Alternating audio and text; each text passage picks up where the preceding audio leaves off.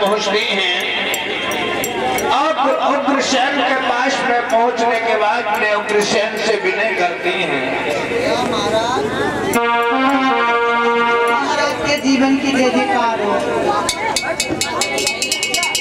सदा खुश रहो वाल्मीकि।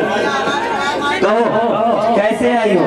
भैया महाराज कहो। तुम्हारे बेटे भोजराज कंस ने हमको इतना मारा देखो सब कपड़ा फाड़ डाले हाँ वो तो दिखाई दे रहा है। क्या बात है? मारो महाराज। छेदे छेदिए जाएगा तो बम मचकते ही हुए और तुम्हारी इतनी दुर्दशा। देखो महाराज इनकी दशा देखो आधो आधो शरीर इनको कम हुई कह रहे हो। कमी लग रही तुम्हें? हाँ लग रहा है देखो ना। हाँ देखो कितनी मोटी मोटी थी कैसी हुई गई सूख के। क्या धूल में नहा के आई हो ना पटक पटक मारो कड़ेर कड़ेर किसने? तुम्हारे बेटा ने। हमारे बेटे ने? हाँ। क्या कह रहे सही कह रहे। अरे हमने तो ऐसा कभी सोचा भी नहीं था हमारा बेटा ऐसा होगा। ऐसो ही कुकर्मी पैदा करो तुमने।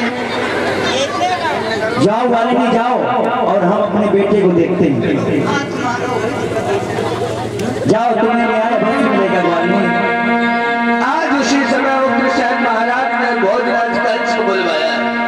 राजमंत्री। मंत्रियों को अभिषेक के दरबार में उतरो खड़े हो जाओ। कौन ये था पकड़ो।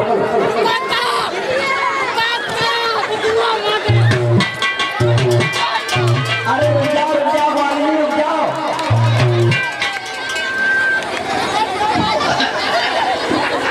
ये भी था।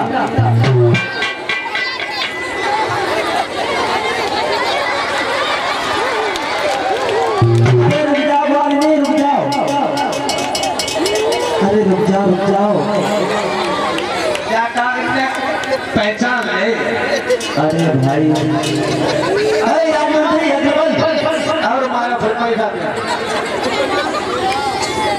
ये महाराज, ये झूठी बोलती है।